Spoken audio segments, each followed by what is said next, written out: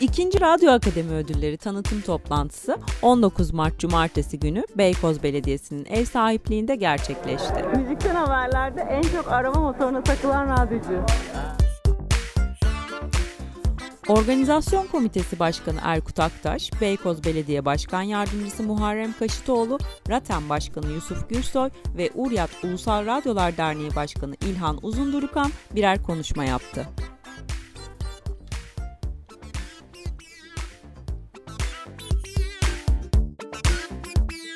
Erkut Aktaş bu sene ikincisi gerçekleştirilen organizasyonun radyo ve radyoculuğu teşvik amacıyla yapıldığını ifade ederek yarışma şartları ve usulü hakkında bilgi verdi.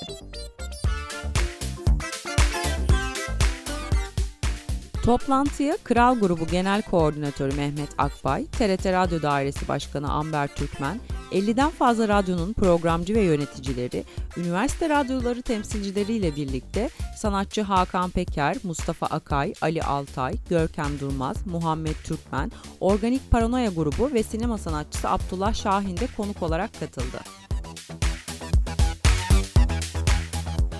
Facebook üzerinden yapılacak olan oylama 1 Nisan 2016 tarihinde başlayacak. Ödüller ise 6 Mayıs akşamı Cemal Reşit Rey'de düzenlenecek törende sahiplerini bulacak.